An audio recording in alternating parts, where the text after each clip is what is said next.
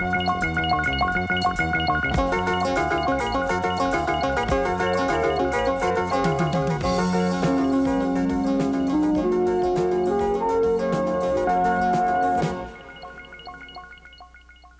so fine. How about this one? Suffering. Well, answer the questions. Last, wait, it's not the last syllable. Is there a final single consonant? Yes, Is there a single vowel preceding the consonant? yes, Is the, does the ending that we're going to put on there begin with a vowel? yes. Is the accent on the last syllable? Suffer. No, No, where's the accent? it's the first syllable. Right, suffer, Suffer. suffer, suffer. All right? Can you see that? Mm-hmm. Gail's series of rapid questions illustrates two important tutorial strategies. First, her questions are one form of diagnosis, allowing her to discover how well her student understands the material. Second, she is helping him review spelling principles by using the teaching strategy known as the Socratic method. A diagnosis of student abilities lets you make efficient use of tutorial time. Let us now examine some approaches to effective diagnosis. Experienced tutors often begin their diagnosis with a quiz in the first session. This quiz or diagnostic may focus on basic skills or important material from past courses, which the students should know. Marcia introduces her initial diagnostic effort in a reassuring way to help her student overcome her anxiety about tests. I just just go ahead and do this. Um, it's a little diagnostic that'll test your basic algebra skills from high school, and it'll kind of give you an idea of where we're going to go in the quarter. Um, if you don't know anything, don't worry about it because you will by the end of the quarter, okay? And the last three questions are just three individual things about you, what your reasons are for taking the course, a little bit about you, and one study habit that you would like to specifically improve upon this quarter, okay? And we'll see what we can do to help you with that. Okay? So it'll probably take you about 10, 15 minutes, and then we'll go over it, okay? Many tutors continue the diagnostic process by giving a short quiz in each session. Such tests not only check students' preparation and understanding of earlier material, but also give the tutor a chance to observe how each student approaches questions and problems. Let's see. We got a little worksheet here. Figure out how much you know and how much you don't know at this point. Okay? So why don't you start working on this? If anything you can't read, just ask. And just just um, uh, fill it out as, as if it were an exam. I want to see how you set up your problems. As you test your students' comprehension of material, you'll need to provide feedback to them in a way that praises success and helps the students learn to avoid making the same mistakes. Like Sal, you can do this by helping your students see a pattern in their mistakes and by pointing out corrections which they could make on their own. Well, I was, I was or, or you know concentrates on improving or something like that. Oh, I see. Okay. But, which, but the most imp- most important point is to get an active verb in there. If you see an is or um, or uh, to be verb around here, um, it's probably in, an, in a, you know it's probably in a passive form. So see how you can change it. I see. Okay.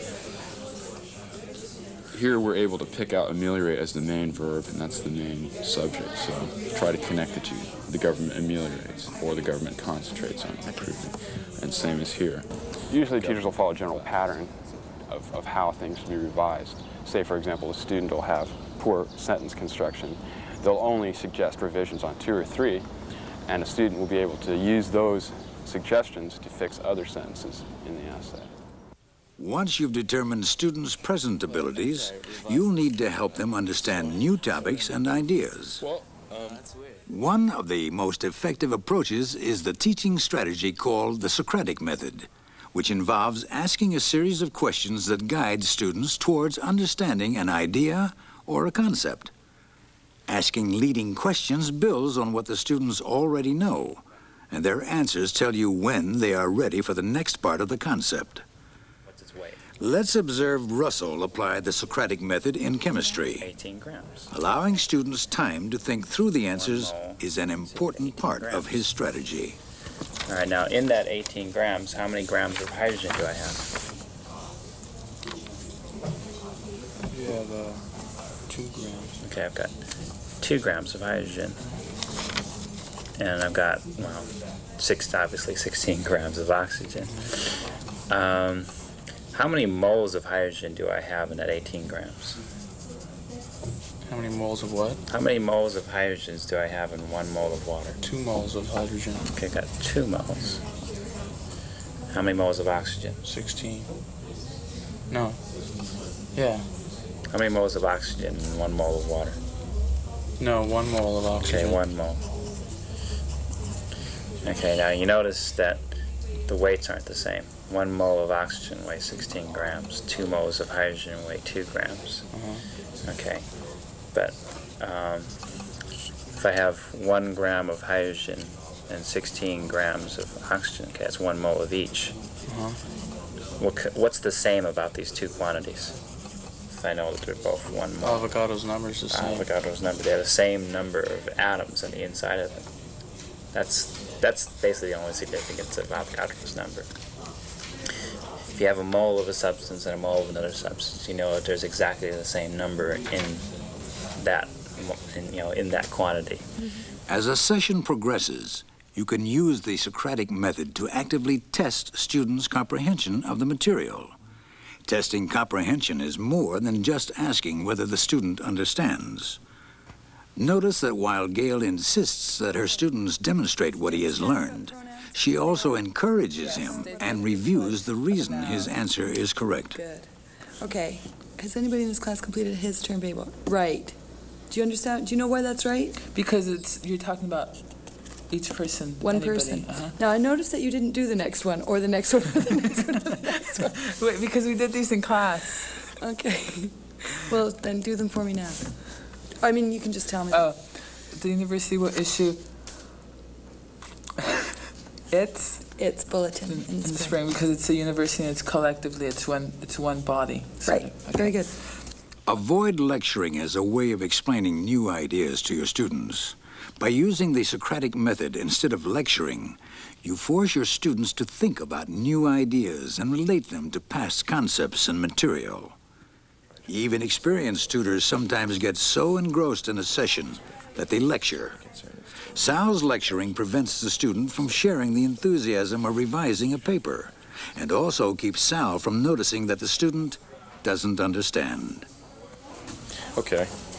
Well, it's out of place because first sentence you talk about poverty in general. Second sentence you talk about um, you talk about uh, locations. Then you talk well, okay, now houses, which is even more specific, and then you move to sewage systems, and then to people. I think if you transpose these sentences, that might be good. That way you're you're achieving. You're going from poverty in general to the villages to the houses to the people in them, right? So there's, a, there's sort of a progression that way. It's out of place because you talk about sewage systems and then you talk about people. And they suffer not just because of the sewage systems, but for the whole thing. Oh, well, I thought this. You know, I, just, I, I uh, need to give just switch some the sentences. Yeah. Switch these. Where should I put this? Uh, well, you just want to just switch these two. This, see how- you this, see how that this works? sentence and this sentence here? Yeah, Switch them around? yeah. Have this. Have houses where the people live are broken down, and then many people, poor people, suffer through their lives. You see how you see how that works? Okay. Well, do you see what I mean? Uh, yeah. Well, it's- I'm still confused, but if you do that, then this seems like it's out of place now. On some occasions, especially during review sessions, it is appropriate for a tutor to do most of the talking. Roger's summary of important ideas during a review session allows the group more time for specific questions. Why don't I review the uh, exponents? They're really easy, and people get confused on them, and there's no reason to. And then we can maybe do some graphing problems after that, okay? Um, what we have for logarithms. Now, this is the only time you're able to use the um, laws of logarithms. When you have any of these three cases.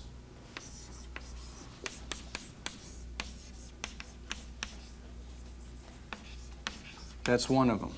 One strength of the Socratic method as a teaching tool is that it helps students to expand their understanding of concepts rather than just memorizing them. Noble expands his students' understanding of molecular biology by asking what if questions to present new possibilities and by providing common experience analogies to help them remember abstract ideas. What are genes? Genes. Mhm. Genes are the places on the on the DNA which are responsible for a specific message. Hmm. You can probably be more specific than that. What are genes made out of?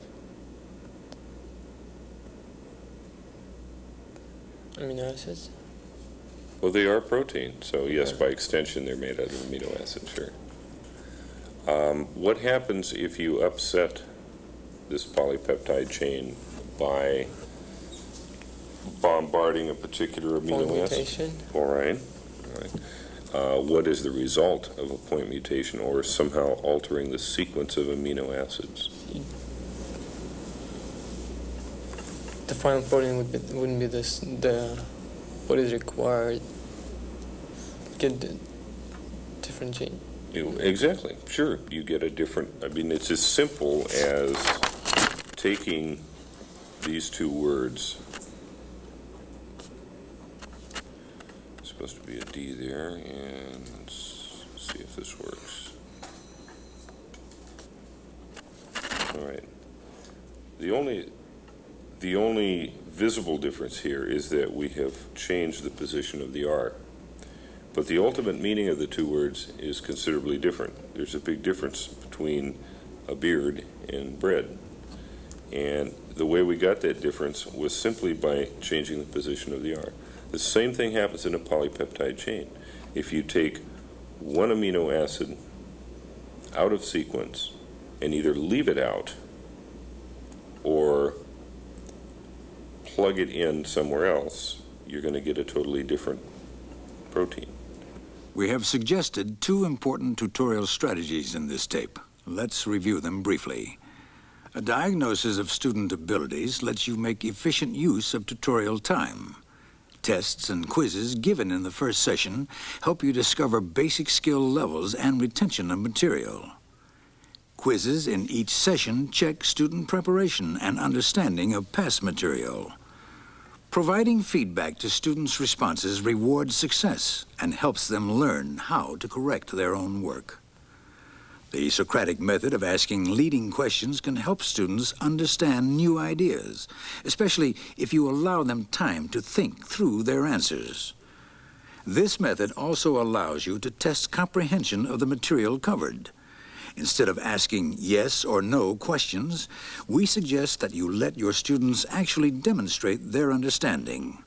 Avoid lecturing, since it prevents active student involvement and lessens your own awareness of their understanding. Finally, you can expand student understanding through the Socratic method by asking what if questions and drawing analogies from common experiences.